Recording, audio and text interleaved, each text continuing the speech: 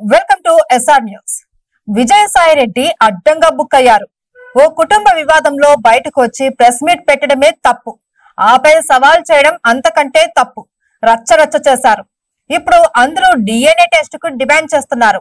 ఆ అధికారిని భర్త నుంచి విజయసాయి రెడ్డి దుర్భాషలాడిన మీడియా ప్రతినిధుల వరకు అందరూ డిఎన్ఏ టెస్ట్కు డిమాండ్ చేయడం పరిపాటిగా మారింది. దీంతో విజయసాయి రెడ్డి డిఫెన్స్లో పడిపోయారు.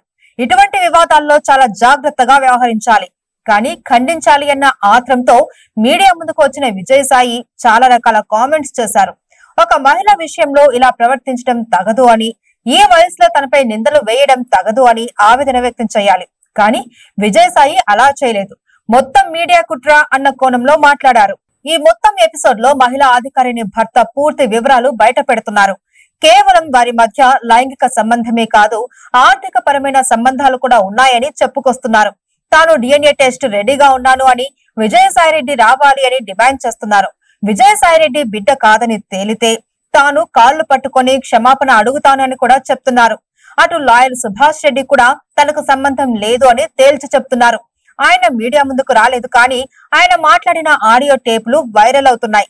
ఆ బిడ్డతో తనకు సంబంధం లేదు అని ఆమె ప్రసవించిన రోజు ఆసుపత్రికి రమ్మంటే వెళ్ళాను అని రిజిస్టర్లో సంతకం పెట్టాను అని అంతకు మించి తనకేమీ తెలియదు అన్నారు.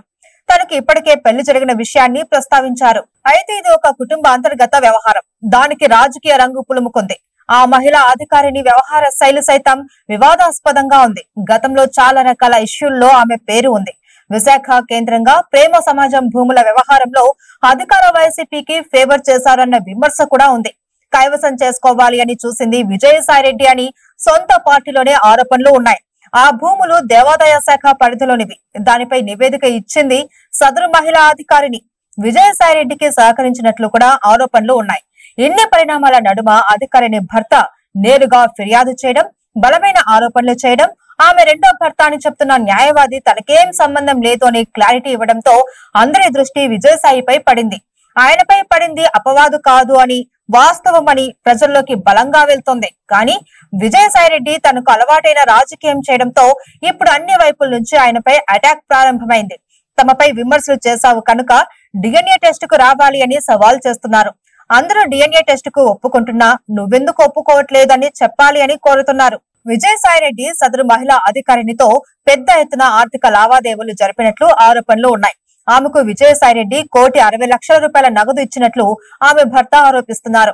దీనిపై కూడా ఈడీ రంగంలోకి దిగనున్నట్లు తెలుస్తోంది. ముఖ్యంగా విశాఖ జిల్లాలో దేవాదాయ శాఖ వ్యవహారాలకు సంబంధించి ఆడిట్ జరపనున్నట్లు తెలుస్తోంది. ప్రధానంగా ప్రేమ సమాజం భూముల లీజు రద్దు విషయంలో ఇదే మహిళా అధికారిని ఇచ్చిన నివేదిక ప్రాప్తికి దర్యాప్తు చేస్తారు అని తెలుస్తోంది. అందులో భారీ అవకతవకలు ఉంటే ఎన్ఫోర్స్మెంట్ డైరెక్టర్ రంగంలోకి దిగి కేసులతో పట్టు బిగించే అవకాశం కూడా ఉంది. అయితే విజయసాయిరెడ్డి నోటి నుంచి సొంత పార్టీ నేతల మాట రావడం కూడా విశేషం.